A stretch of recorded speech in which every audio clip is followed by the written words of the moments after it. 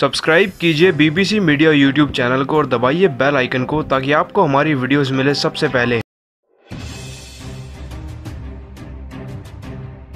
दोस्तों, अगर आप भी चाहते हैं कि भारतीय क्रिकेट टीम 2019 विश्व कप जीते तो वीडियो को लाइक करना नहीं भूलिएगा। दोस्तों, जहाँ एक तरफ़ सारे देश में फ़िलहाल आईपीएल 2019 को लेकर रोमांच चल रहा था तो वहीं बीसीसीआई ने 2019 विश्व कप के लिए भारतीय क्रिकेट टीम का भी ऐलान कर दिया है। आपको बता दें कि जैसा की हम सभी जानते हैं की ठीक आईपीएल के खत्म होने के बाद केवल बीस ऐसी पच्चीस दिनों के अंतराल के बाद भारतीय क्रिकेट टीम को इंग्लैंड रवाना होना है। इस बार दो हज़ार उन्नीस का विश्व कप इंग्लैंड में होना जिसके लिए काफ़ी लंबे अरसे से भारतीय क्रिकेट टीम जद्दोजहद कर रही है। साथ ही इस वीडियो में आपको भारतीय क्रिकेट टीम के उन सभी सभी खिलाड़ियों का नाम बताएँगे, जिन्हें वर्ल्ड कप के लिए टीम में शामिल किया गया है। तो इस वीडियो को अंत तक ज़रूर देखते रहिएगा। और दोस्तों, जैसा की हम सभी जानते हैं की वर्ल्ड कप तो एक ऐसा टूर्नामेंट है जिसमें हर एक देश अपना सौ प्रतिशत देना चाहता है। ऐसे में यह देखना काफ़ी रोमांचक होगा की विराट कोहली की कप्तानी के अंडर साथ ही महेंद्र सिंह धोनी के अनुभव के साथ किस तरीके ऐसी भारतीय क्रिकेट टीम दो हज़ार उन्नीस के विश्व कप में प्रदर्शन करके दिखाएगी। वही अगर दूसरी तरफ़ टीम की बात करी जाए तो आपको बता दें कि भारतीय क्रिकेट टीम में कुछ ऐसे खिलाड़ियों को भी शामिल किया गया है, जिन्होंने सबको चौंका कर रख दिया है। साथ ही बीसीसीआई के मुख्य चयनकर्ताओं ने टीम में कुछ उन खिलाड़ियों को तो मौका ही नहीं दिया जिनकी सबको आस थी। ऐसे में कहीं ना कहीं यह कहना गलत नहीं होगा कि बीसीसीआई ने अपनी इस प्रेस कॉन्फ्रेंस से सबको सरप्राइज़ दिया है। तो दोस्तों चलिए अब आपको फटाफट से बता देते हैं कि 2019 विश्व कप के लिए क्या होगी भारतीय क्रिकेट के खिलाड़ियों की पंद्रह सदस्यीय टीम।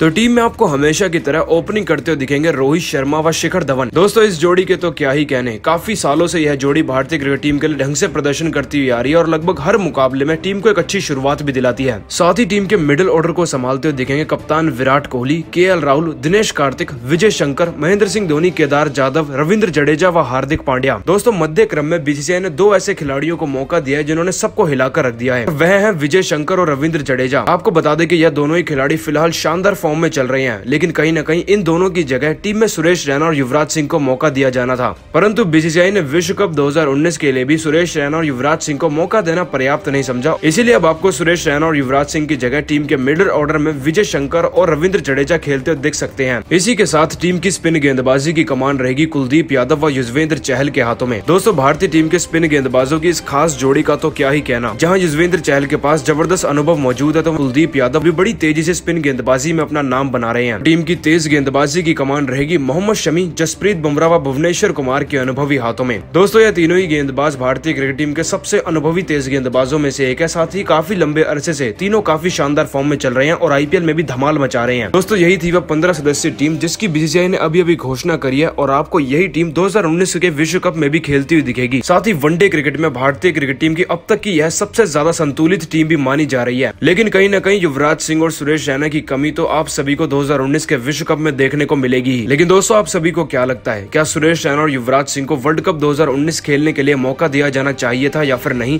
इस बात का जवाब कमेंट सेक्शन में ज़रूर दीजिएगा। और इसी तरह की खबरों के लिए भी सब्सक्राइब कीजिए हमारे चैनल को। धन्यवाद।